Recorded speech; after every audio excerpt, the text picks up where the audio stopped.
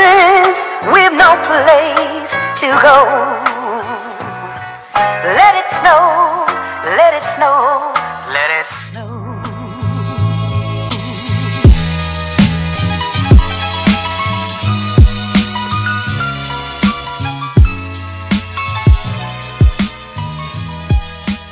Hi everyone! Today, in honor of my cousin Erik Grasso's birthday, what um, I'm gonna make for you guys are some Christmas themed cupcakes. So, the reason I'm making Christmas themed cupcakes is obviously because it's almost Christmas. Today's December 12th, which is my cousin's birthday, and since he lives far from me and we can't just I can't just go to his house and celebrate um, I'm making these cupcakes for him, so we will be celebrating virtually.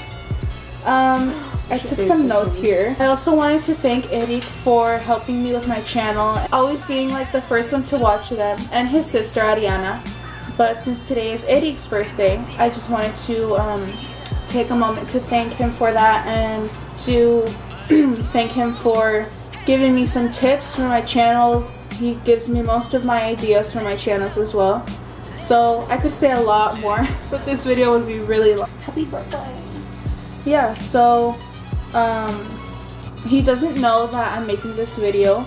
And like I said, since I can't just go to his house and celebrate and I didn't get him anything for his birthday yet.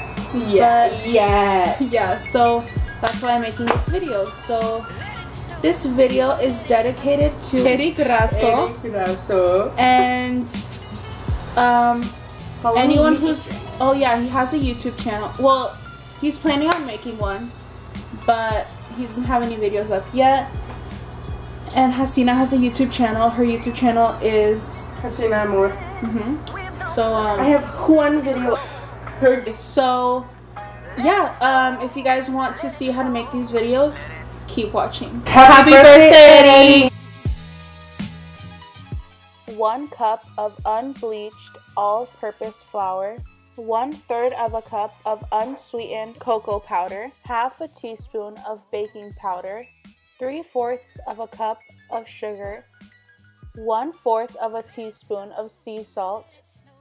I forgot to record this, but you're also going to need half a teaspoon of baking powder. 1 cup of almond milk, 1 teaspoon of apple cider vinegar, and a third cup of coconut oil. The first thing I'm adding is the 1 cup of flour, and I'm going to put all the dry ingredients through the sieve because I'm going to sift them later. Then the cocoa powder, baking powder, baking soda. So now I'm just sifting all of the dry ingredients to make sure there are no lumps. So now I'm using a spoon to break down any of the lumps of flour and cocoa powder. And now I'm just going to give them a quick mix before I add the salt. So I just transferred it to another bowl and now I'm adding the sea salt. Let it snow. So now I'm adding one cup of almond milk. So to the milk, I'm going to be adding the apple cider vinegar. And now I'm adding the pure vanilla extract. Then I'm giving them a quick mix. So I just transferred that milk mixture into a bowl. You can see it in the corner there. But now I'm adding the sugar and the coconut oil, and then I'm gonna whip those together. So I started at about a one, which is a low. And like I said, we wanna beat these two ingredients. So then I put it up to a two, and I ended up going all the way up to the last number, which was a high. But I did that slowly. So here, as you can see, I'm just scraping down the edges. Then adding the milk, apple cider vinegar, and vanilla mixture. But first, I'm just gonna give that a quick stir again. Then I'm going to start mixing it with a whisk. And don't worry about the clumps, it's because coconut oil and cold milk, but that's fine. So now I'm adding the wet ingredients to the dry ingredients, and that's about it. Then you're gonna start mixing.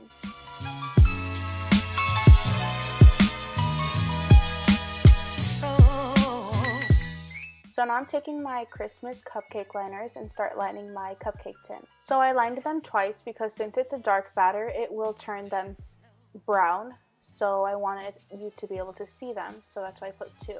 And now I am just filling them. So this recipe says it makes about 12 cupcakes, but I only got nine, so it really depends how you fill them.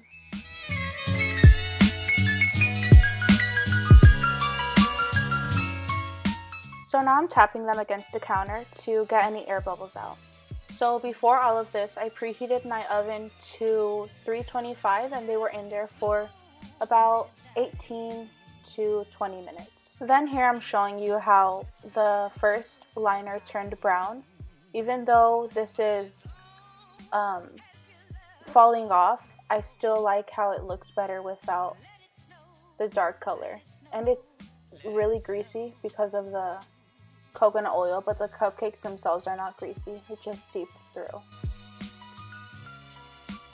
So then I just took some store-bought frosting. Um, you want to make sure it's white because we're going to dye it green. And then here I have some almond milk because I'm going to add a little bit to the frosting because it's a little too thick for my liking.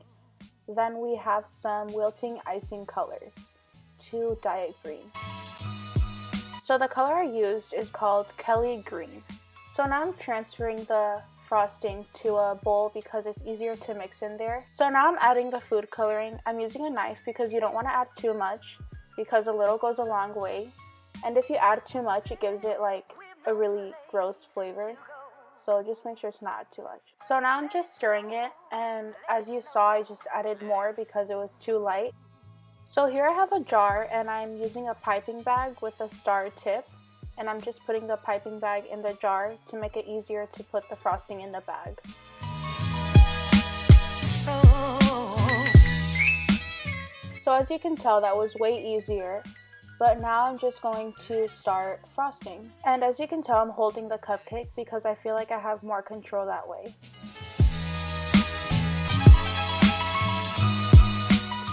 So here, now that they're done, I'm going to take some silver sprinkles to kind of make them look like ornaments.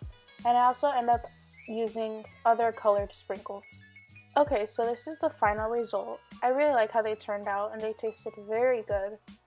Um, if you guys liked this video, please be sure to give it a thumbs up and subscribe to see more. And stay tuned for my other videos.